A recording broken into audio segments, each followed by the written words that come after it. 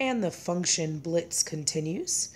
Um, again, we're just going to do a bunch of these because it's a really quick way to raise your grade pretty easily on the GED. So this one again, we see again that we've been asked to figure out if the graph represents a function. And we can see our graph here is in this kind of U shape. We call this a parabola. You don't need to know what it's called. Um, but the main thing you need to know here is um, how to test a graph or a function. Um, if you missed the first few videos on this, go back and watch them. There's two before this.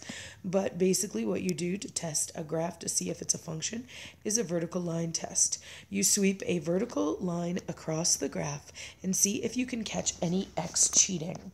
Let me show you what I mean. So like if I had a vertical line right here, I only have one point on this graph. That single x value of, what is it, probably about negative 5.5, um, is only um, at one y point. However, if I moved over and I just got myself another vertical line here, you would see this same vertical line catches my graph in two different places.